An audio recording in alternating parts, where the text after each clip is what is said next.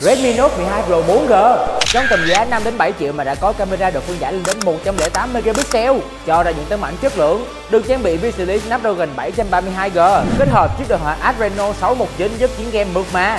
Ngoài ra có thể sử dụng thoải mái cả ngày dài với pin 5000 mAh Đặc biệt thu cụ trợ giá lên đến 500k Mua ngay tại Sephonet